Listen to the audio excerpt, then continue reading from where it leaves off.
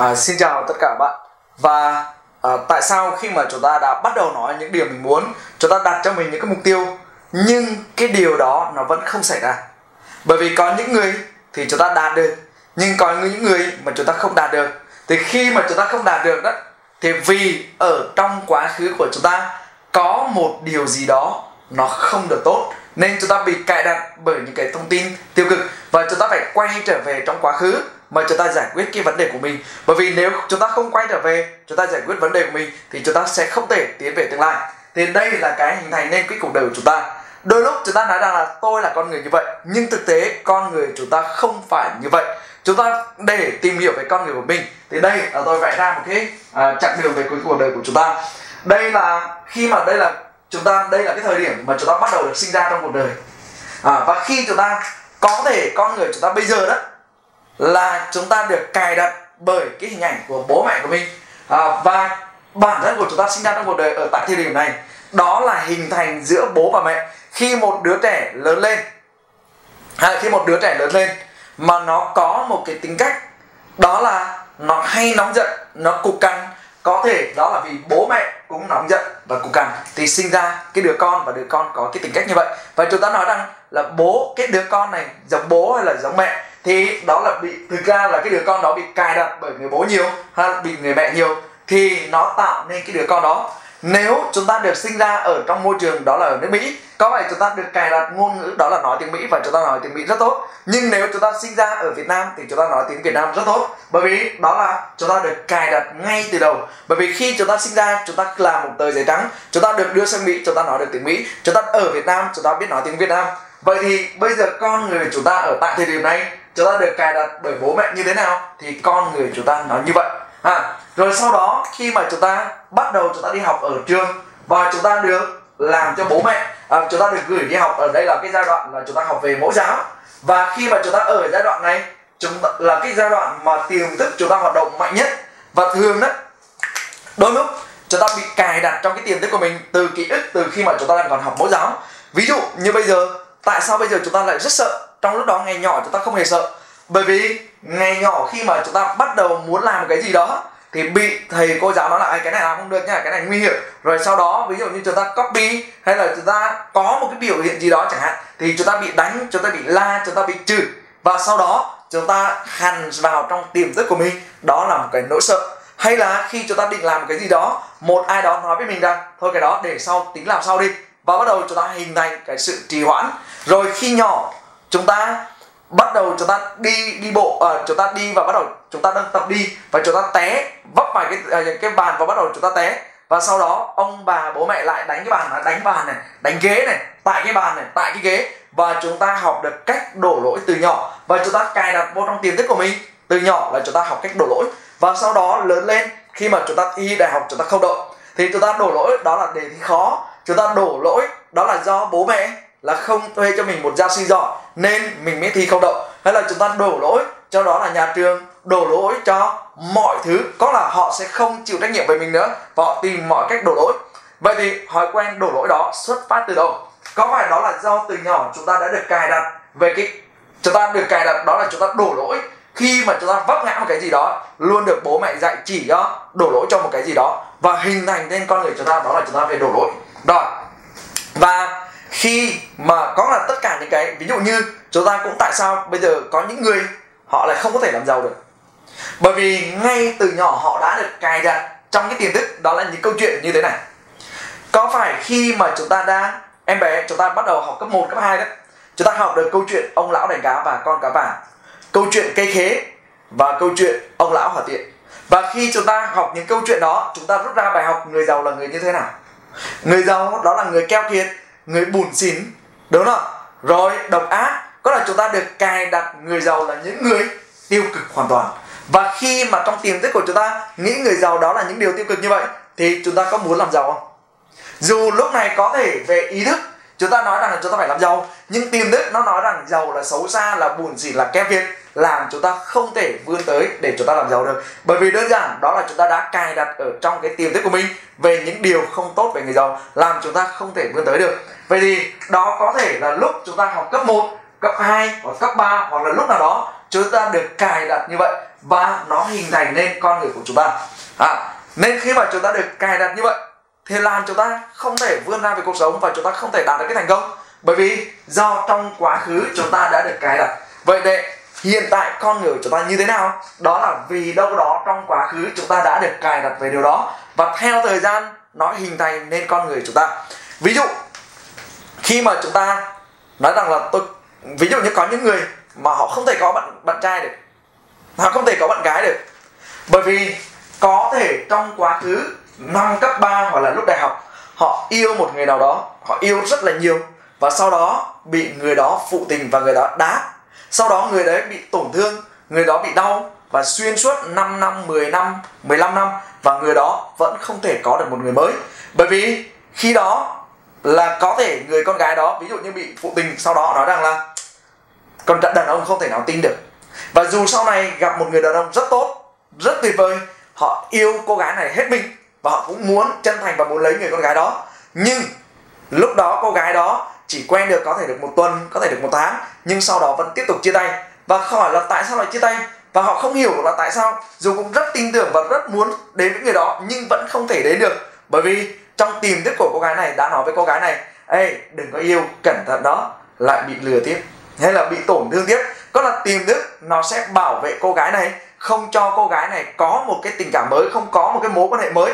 Bởi vì cô gái này đừng có tiếp nữa, bởi vì tiếp nữa, em, bạn sẽ bị tổn thương nữa đó. Và cái tiềm thức này nó sinh ra để bảo vệ cái cơ thể của cô gái này, nên không cho cô gái này đến với một cái mối quan hệ mới nên xuyên suốt 5 năm 10 năm mà chúng ta không có được mối quan hệ. Hay là chúng ta không có tin tưởng bởi vì chúng ta bị một ai đó lừa dối và đã từng nào đó từng một lần nào đó trong cuộc đời và chúng ta nói em không thể tin con người được. Và sau đó hình thành nên con người chúng ta đó là chúng ta không tin tưởng vào mọi người. Và thậm chí chúng ta cũng không tin vào chính bản thân mình bởi vì chúng ta được cài đặt ở đâu đó trong tiềm thức của mình. À, nên là ví dụ như bị trì hoãn chẳng hạn. Có thể đó là vì trong quá khứ chúng ta bắt đầu ờ, ví dụ ờ, bố mẹ rủ nói mình làm cái gì đó, nhưng lúc đó mình đang xem phim mình nói thôi để tí nữa đi. Rồi sau đó một lần, hai lần, ba lần và cuối cùng đi vào trong tiềm thức của mình, đó là chúng ta trì hoãn. Hay là ví dụ như chúng ta sợ, tại sao có những người sợ rắn? Ví dụ như tôi rất là sợ rắn, bởi vì thế này, một ký ức ký ức ngày xưa, khi mà tôi đang còn nhỏ đó, thì ở trong nhà của tôi thế là có một cái ông hàng xóm, ông bắt được con rắn. Và nghe mọi người dọa về con rắn là nó rất độc đúng không? Dù con rắn đó, ông ta đã bẻ răng rồi. Và sau đó, ông ta đưa con rắn vào trong nhà tôi và thả nó chạy khắp trong nhà. Và lúc đó là một cái ký ức nó rất mạnh và làm cho tôi rất giật mình và tôi rất sợ. Và từ đó trở về sau tôi nhìn thấy rắn là tôi rợn người lên và tôi rất sợ về con rắn. Thì đó là do tôi bị cài đặt vào một cái dấu ấn nào đó trong cuộc đời. Đúng không? Hay là khi đang còn nhỏ, bắt đầu tôi bị hù ma nhiều và hình thành, bắt đầu tôi sợ ma.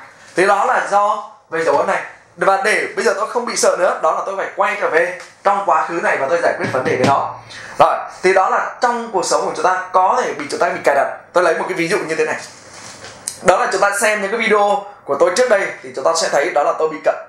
Nhưng bây giờ thì tôi không còn đeo kính nữa bởi vì đó là do trước đây vào thời điểm mà năm mà tôi học cấp 2 à, lúc mà học lớp 6 tôi xem những cái bộ phim Hàn Quốc và tôi thấy những người con trai trong cái bộ phim Hàn Quốc đều rất là đẹp trai và có một cái người diễn viên, đó là Lee Min Hee, là cậu ta đeo kính kính cận và rất là đẹp trai. Và lúc đó mọi người nói về chàng trai này rất đẹp trai.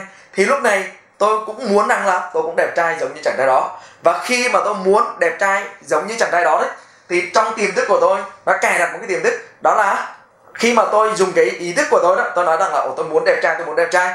Thì tiềm thức của tôi, nó sẽ giúp tôi có được cái điều đó bằng cách nó nói với tôi thế này bây giờ xin bố thì bố lại.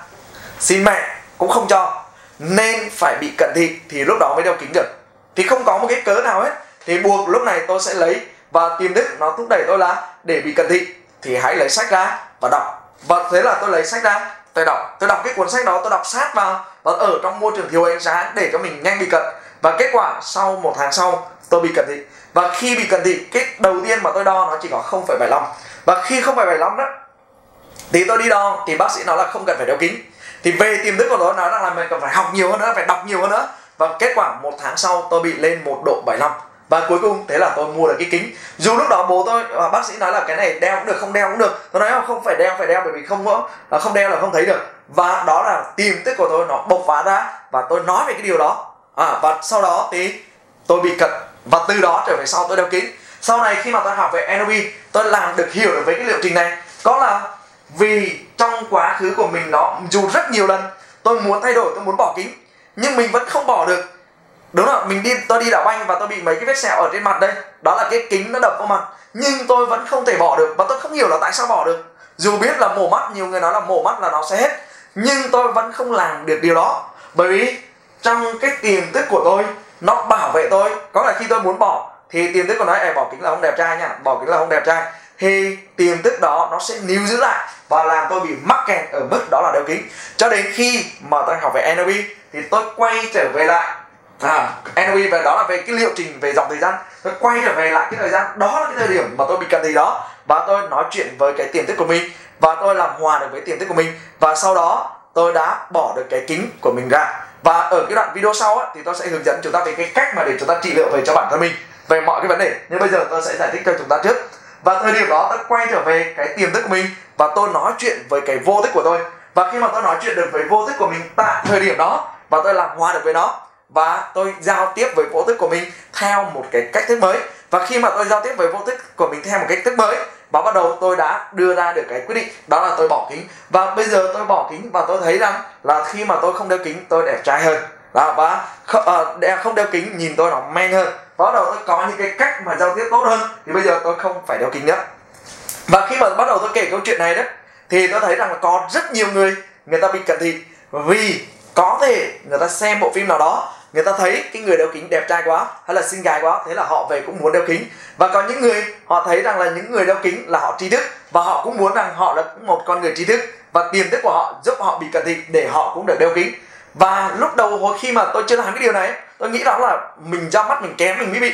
Nhưng khi mà tôi quay trở về với tiềm thức của mình, tôi mới phát hiện ra đó là do cách mình giao tiếp với tiềm thức của mình mới dẫn tới đó là mình bị về cái này à đó là mình bị cái này đó là cái cách mà mình giao tiếp với vô thức của mình và dẫn tới mình bị cái này. Nên trong cuộc đời của chúng ta chúng ta không đạt được điều mình muốn đấy bởi vì đâu đó trong quá khứ của chúng ta đang có nhiều cái tiếng nói nhỏ ở trong tiềm thức của chúng ta và nó kìm hãm và nó kéo lại và làm chúng ta không thể vươn tới được cái mục tiêu của mình.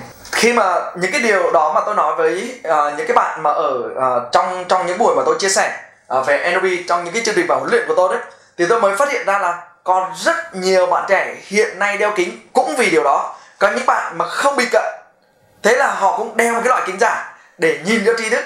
Hay là có những người hâm mộ về Steve Jobs thế là họ cũng làm một cái kính giống Steve Jobs và làm cho mình bị cận để mình cũng đeo giống như của Steve Jobs. Và có nghĩa là chúng ta hâm mộ về một ai đó và sau đó chúng ta mô phỏng lại cái điều đó và chúng ta cái vô thức của chúng ta nó làm cho ta bị vấn đề đó. Hay là khi mà tôi bắt đầu uh, tư vấn và uh, tôi giúp uh, tôi làm những buổi coach trị liệu về vấn đề cho những cái người học viên của mình đó thì có những cái trường hợp là họ bị rớt đại học. Đây là một cái bạn ở trong uh, cái học viên của tôi. Là họ bị như thế này. Đó là họ bị bệnh tự kỷ. Họ bị tự kỷ 12 năm. 12 năm. Và sau đó thì khi mà bắt đầu tôi dùng cái cốt trị liệu xong á tôi mới nói chuyện với người này. Và sau đó khi mà người này được giải quyết thì người này mới chia sẻ cho tôi như thế này. Có là là hồi đầu đó anh ta rất là năng động. Nhưng sau đó bị mọi người nói rằng là anh này anh năng động quá tăng động và mọi người nói là anh tăng động và sau đó cho anh ta uống thuốc là thuốc giảm tăng động và sau khi anh ta uống thuốc giảm tăng động xong đó thì anh ta mọi người không hiểu anh ta và làm cho anh ta cảm thấy rất là khó chịu thì khi mà anh ta nói chuyện và mọi người không hiểu thì anh ta lựa chọn đó là mình không nói nữa bây giờ tôi thèm không thèm nói với ai nữa và sau đó thì trong một cái dịp đó là bà của anh ta mất thì khi mà bà của anh ta mất thì anh ta rất buồn và anh ta không biết nói với ai không biết chia sẻ với ai hết thì anh ta lựa chọn im lặng và không nói chuyện với ai cả ai hỏi nói gì cũng không nói. Thì lúc này mọi người nói rằng là anh ta bị tự kỷ. Và khi mà nói anh ta bị tự kỷ như vậy đó thì bắt đầu mới đưa anh ta đến bệnh viện để uh, chăm sóc và chữa về bệnh tự kỷ. Và sau đó người ta cho anh ta uống thuốc về tự kỷ. Và cuối cùng anh ta bị tự kỷ liên tục trong vòng 12 năm. Cho đến khi mà gặp tôi thì cái đầu tiên mà tôi gặp anh ta thì khi người vợ của anh ta mới đưa mà nói với tôi đó là chồng của em là bị tự kỷ 12 năm rồi. Thì khi nói tôi nói ok được rồi để tôi nói chuyện và khi mà tôi nói chuyện với anh ta đó thì tôi nhìn thẳng vào mắt của anh ta khi mà tôi hỏi à, một số thông tin tôi hỏi tên này. Tôi hỏi là à, gia đình của anh có bao nhiêu con này? Thì anh ta đều trả lời được hết. Thì lúc này tôi mới nói với anh ta như thế này. Tôi thấy anh hoàn toàn bình thường. Em thấy anh hoàn toàn bình thường. Thì anh này bắt đầu tôi thấy là biểu hiện của anh này sáng lên.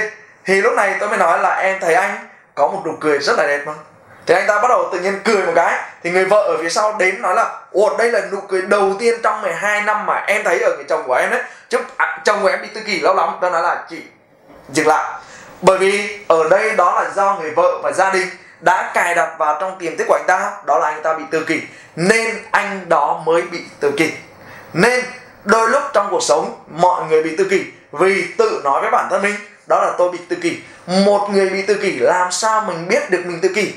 Đúng không? Nên phần lớn các bệnh đó là do tự chúng ta cài đặt. Đó là cái tâm của chúng ta bệnh chứ không phải con người chúng ta bệnh. À, thì đó là một số cái trường hợp. Hay là có những người trì hoãn bởi vì trong quá khứ của chúng ta. Đây là một cái trường hợp của học viên tôi là khi mà thi đại học lần đầu tiên rớt. Anh ta vẫn quyết tâm thi đại học thêm lần thứ hai. Sau rớt và sau đó anh ta quyết tâm thi lần thứ ba. Thì lúc mà lần thứ ba những người bạn của anh ta mới nói rằng này đâu phải đại học là con đường duy nhất đâu. Con đường nào cũng được mà. Thế là đầu tiên anh ta đang quyết tâm để theo đuổi cái sự quyết liệt của anh ta. Nhưng sau đó, vì nghe mọi người nói rằng đại học đâu phải là con đường duy nhất, thế là anh ta không có thi đại học nữa. Anh ta chấp nhận học cao đẳng. Và lúc đó anh đã tặc lưỡi và nói, thôi, không đại học thì cao đẳng cũng được. Và anh ta đã không hết mình trong việc này. Và cái ký ức đó, nó đã nằm ở trong tiềm thức của anh ta và dẫn tới sau này khi mà bắt đầu anh làm, làm, làm việc và khi mà tôi gặp anh này đó thì tôi thấy anh ta là một người có năng lực có tố chất nhưng tại sao không tạo ra kết quả? Và khi bắt đầu tôi dùng cái bài coach của mình tôi nói chuyện và anh ta mới tôi mới phát hiện ra à đó là do năm là thi đại học anh ta gặp phải cái trường hợp đó và anh ta đã tự nói với bản thân mình đó là thôi không học đại học thì cao đẳng. Và sau này khi mà làm việc thôi, cái này không đạt mục tiêu thì thấp hơn cũng được mà. Có là anh ta đã không làm được cái việc đó là nỗ lực hết sức để đạt được cái mục tiêu của mình. Và nó cài đặt vào trong tiềm thức và anh ta làm bất kỳ một điều gì, nó cũng như thế. Hay là biểu hiện đó là anh ta đọc sách, cũng không bao giờ đọc hết cuốn sách. Anh ta chỉ đọc được khoảng tầm 10 trang 20 trang, anh ta lại đọc sang cuốn khác. Cuốn khác cũng đọc được 10 20 30 trang, lại chuyển sang cuốn khác. Và anh ta cứ làm việc mà bỏ cuộc giữa chừng, rồi làm việc không hết mình và không hết lòng và không nhiệt huyết và cuối cùng không đạt được cái thành quả của mình. Từ đó là khi mà tôi phát hiện ra được cái nào và tôi giúp họ nói chuyện với lòng hòa về cái tiềm thức của mình chữa lành với tiềm thức của mình. Và sau khi quá khứ này đã được làm sạch thì anh ta mới có thể vươn tới và đạt được với mục tiêu của mình. Và anh ta đã trở nên rất thành công sau khi mà dùng cái phương pháp về trị liệu này. Nên khi mà chúng ta bị à, thói quen đổ lỗi thì chúng ta không phải làm hòa về quá khứ hay là khi chúng ta gặp một vấn đề về bệnh trong tâm trí hay là bệnh về cơ thể thì bệnh thì nó có hai dạng. Một đó là ví dụ như ho này cảm này sốt này rồi nhức đầu này. Ví dụ như tôi chữa bệnh cái nhức đầu của mình bởi vì trong tiềm thức của tôi đó là tôi bị cài đặt đó là tôi bị đau tiền đình đó. À, thì đây là một cái ví dụ. Ngày xưa đó khi mà tôi chỉ là bị nhức đầu thôi thì mọi người nói rằng là cẩn thận bị đau ở thần kinh bị tiền đình đấy và bắt đầu tôi nghĩ là, ồ, đau vậy là bị tiền đình à? Bị thần kinh à? Bắt đầu tôi tự nói với bản thân mình như vậy. Và sau đó thì tôi, mẹ, gia đình mẹ tôi đưa cho tôi cái viên thuốc, đó là thuốc TK màu tím tím. Và tôi uống viên thuốc đó thì tôi thấy hết nhức đầu. Và tôi nói, ồ, chết rồi, mình thấy mình bị tiền đình. Thế là lúc nào trong à, phòng của tôi đó, cũng có một hộp à, một cái hộp, đó là thuốc tiền đình. Và sáng tôi uống một viên, tối một tôi uống một viên. Và xuyên suốt 3 4 năm như vậy, cho đến khi mà tôi học được NLP và tôi biết rằng đó là do mình đã nói chuyện với vô thức của mình như vậy. Và sau đó tôi bỏ cái hộp thuốc đó và đến nay đã là 10 năm. Đến nay đã 10 năm và tôi không phải dùng nó, tôi cũng không phải chữa bệnh, mà tôi dùng NLP để chữa lành và tôi có một cơ thể khỏe mạnh hoàn toàn bình thường. Giống như việc đau họng, tôi cũng biết cách giao tiếp và tôi biết đó là do mình cài đặt. Nên đó là chúng ta bệnh về thể lý hay là bệnh về tâm bệnh thì đó đều là do chúng ta bị cài đặt trong tiềm thức của mình. Chúng ta đang đổ lỗi, chúng ta kêu ca, chúng ta phàn nàn, chúng ta ra điều kiện thì đó là do chúng ta được cài đặt đâu đó ở trong tiềm thức của mình, nên làm chúng ta không thể vươn tới mục tiêu của mình. Vậy thì, để chúng ta vươn tới mục tiêu của mình, thì chúng ta cần phải làm hòa với cái quá khứ của chúng ta. Chúng ta cần phải làm cho cái quá khứ của chúng ta, cái tiềm thức của chúng ta nó được bình an. Mạnh mẽ là với bình an. Chúng ta chỉ mạnh mẽ được khi mà chúng ta bình an. Khi mà tâm trí của chúng ta trong tiềm thức của chúng ta nó không bị tiếng nói nhỏ lặp đi lặp lại nó không bị uh, nói uh, nó không bị lộn xộn trong cái tiếng nói ở phía sau này. Thì lúc đó chúng ta mới vươn tới tiềm thức của mình được. Nên bây giờ chúng ta chưa đạt được mục tiêu. Có nghĩa là là do cái tiếng nói trong tiềm thức của này nó đang lộn xộn nó đang rắc rối nó đang đấu tranh nhiều quá làm chúng ta không thể vươn tới mục tiêu. Đó là lý do chúng ta muốn sáng ngày mai chúng ta dậy sớm nhưng vẫn có một tiếng nói nhỏ thôi, ngủ tiếp đi, mệt quá rồi ngủ tiếp đi. Và chúng ta lặp đi lặp lại. Và cái tiềm thức này nó quá lớn, làm chúng ta không đột phá lên được. Thì trong cái chương trình học viện team lead 5 ngày 4 đêm, tôi cũng giúp cho mọi người đào sới tất cả những cái này và làm sạch cái này, sau đó chúng ta mới vươn tới về cái mục tiêu của mình được. Và trong cái video kế tiếp, tôi sẽ hướng dẫn cho chúng ta về cái bộ câu hỏi, về cái bài quy trình code để chúng ta tìm về thời điểm quá khứ nào đó ở trong điểm đây khi mà chúng ta làm lành được rồi thì chúng ta mới phát triển về tương lai được. Và xin chào, hẹn gặp lại chúng ta ở cái đoạn video kế tiếp.